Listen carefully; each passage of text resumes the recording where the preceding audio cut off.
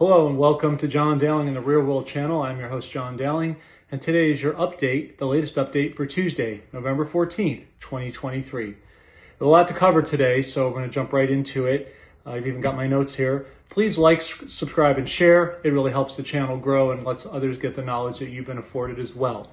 Uh, to all of our new and loyal, faithful supporters, we thank you very much for your support and your kind words and comments. They are greatly appreciated.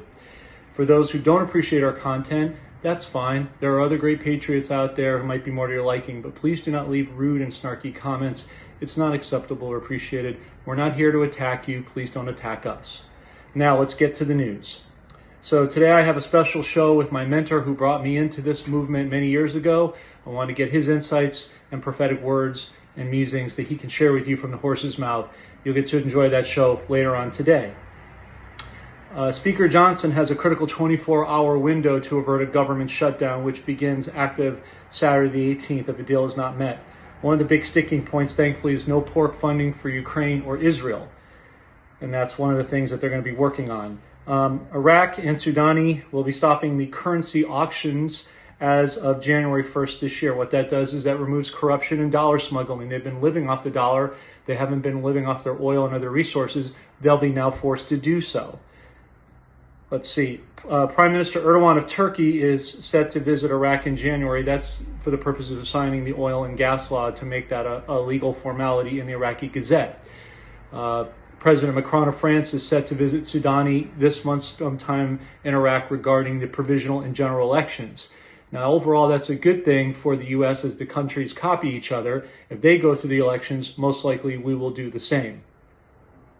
Uh, one other thing I wanted to talk to you about real briefly is this is an epidemic that's going on with corporations throughout the world in regards to the stock market and the general perception of the economy. An example would be Yellow Trucking Company. They've been most known for doing shipping to major companies like Walmart. They're very economical in their distribution channels and in their pricing. Well, this summer they laid off 30,000 truckers and employees. Yet they've kept them on the books as employees because they paid them severance packages. When those packages run out, those employees then come off the books. the perception is the company's doing well based on the number of employees they have and the revenue they were generating. But when that, that scale slides off, in the coming quarters, it's going to have to reflect. And this is just one of thousands of corporations doing this. Imagine what that's going to do to the landscape of the economy when the real numbers are realized in the marketplace. There's some breaking news coming out of Iraq. Federal Supreme Court oust Speaker Mohammed al Halbousi from Parliament per Laith al Dulaimi's lawyer. This is important because the government in Parliament has mostly been comprised of corrupt Iranian proxies. So this is one of the big finance ministers in there, one of the big people in parliament being removed is showing that they're taking real and proactive steps to removing corruption, which means they're getting very serious about getting back onto the international stage and cleaning up. Removing the currency auctions and removing some of the parliament are key steps to making this happen. Also, some other news that is developing is sanctions may be released off of Iran from the Biden administration in order to access 10 billion in funds placed within Iraq. Now you might be thinking, yeah, that could be so they could get at some of that money laundering. That might be their effort. But the good thing is in the efforts to do that on the Biden administration side, what that does is it takes the sanctions off Iran, frees them up, which and then in turn frees Iraq. So it's another step in the building block process to what we're waiting.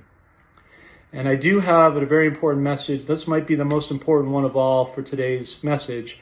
And that is, I've heard a prophetic message from the Lord. I don't say that very easily and I don't I don't undermine that word and the importance of what it is.